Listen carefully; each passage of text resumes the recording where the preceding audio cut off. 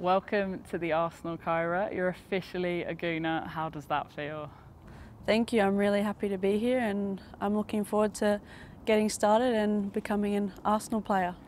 This will be some lovely deadline day news for our supporters. Can you talk a little bit about how this transfer came about?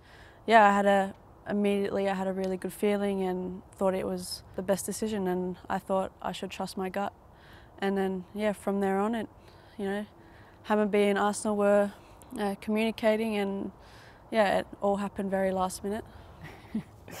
You've had an incredible summer playing World Cup over in Australia. You guys came so close to hitting the final. How was that experience for you? Probably a lots of ups and downs, I imagine. Yeah, I mean, playing a World Cup on home soil, it can't get any better than that. Having your family and friends there and the whole nation watching you and supporting you, it's definitely something I will never forget. You've definitely been picked out as a player to watch for the future, but you've already played Olympics, World Cups, you're only 21.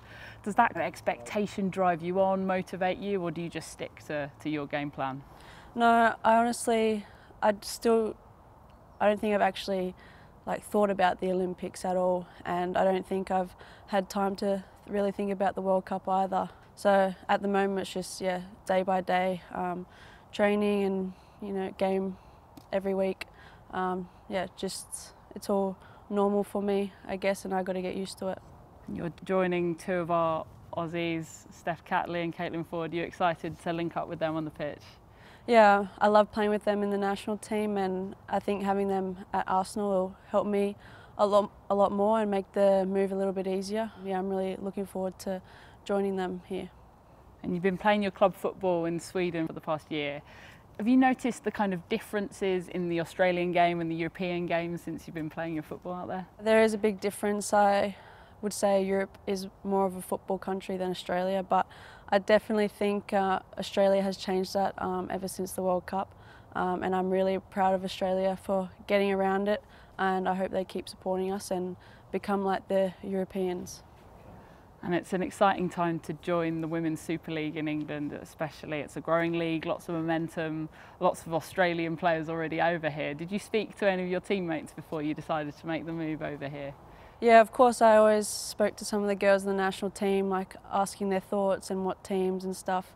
Um, it's always nice to know to get some information before, you know, making a move to the WSL. Um, it's a big league and it's very popular. So, um, and it's also everyone's dream to go play at the WSL. So yeah, I'm really happy to be here.